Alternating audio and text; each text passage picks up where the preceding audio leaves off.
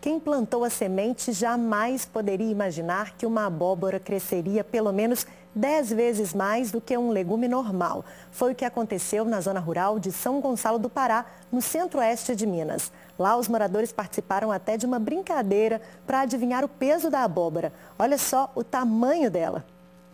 A abóbora gigante ganhou lugar de destaque neste bar da comunidade Quilombo do Gaia, em São Gonçalo do Pará. Olha o tamanho. Ela foi dada de presente para a Fabiola. Eles ganharam a semente e eles plantou e veio ficar desse tamanho. O movimento no bar aumentou por causa da abóbora. E aproveitando os novos clientes, Fabiola criou até um bolão. Quem acertar o peso dela ganha a caixinha de cerveja. Todo mundo quer saber quantos quilos a abóbora pesa. Aqui no bar, as apostas já começaram. Qual é a sua opinião? 50 quilos.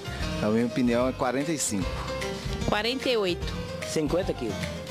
Eu acho que ela está acima de 40 quilos. Eu pus 52 quilos.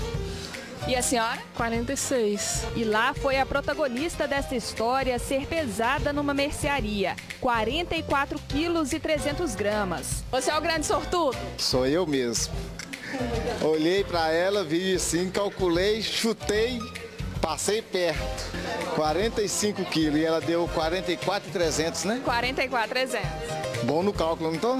Ao ver as imagens, este biólogo garante que o fruto sofreu uma raríssima transformação genética. Houve algum tipo de variação que ocorreu uma mutação do mesmo, fazendo com que essa se unisse e gerasse esse fruto de tamanho desproporcional, o que para esse tipo de planta não é uma coisa comum. A verdade é que ninguém vai comer a abóbora de novo sem se lembrar dessa aí. Nunca vi uma abóbora desse tamanho, não.